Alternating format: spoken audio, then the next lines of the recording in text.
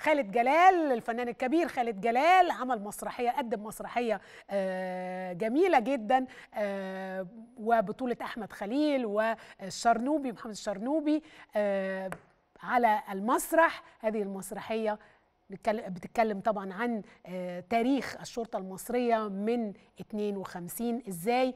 إن ال icons أو الولد الصغير كان بيشوف ال Avengers أو بيشوف سوبرمان آه، و Iron Man. هم دول نموذج الفخر بالنسبة له. لما عرف الشرطي المصري بيعمل إيه غير اتفضل.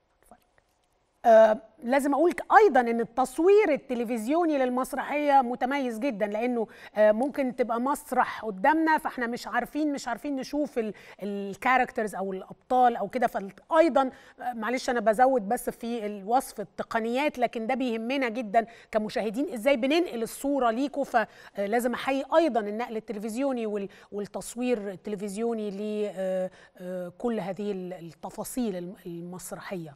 آه، خالد جلال دايما بيقدم عمل محترم له آه، قيمة.